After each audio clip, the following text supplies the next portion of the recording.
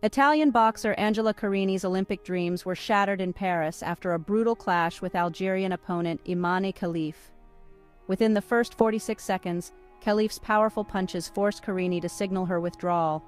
A heart-wrenching scene unfolded as Carini, sobbing, fell to her knees and declined to shake Khelif's hand. The IOC's guidelines aim to ensure fairness in sports, including athletes with differences of sexual disorder. But the emotional and physical toll of this bout is a stark reminder of the complexities and raw intensity of competitive sports. Stay tuned for more updates on this unfolding Olympic drama.